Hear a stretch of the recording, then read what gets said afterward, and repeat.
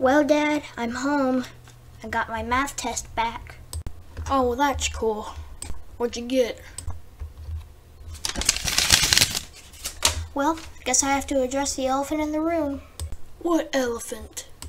That elephant.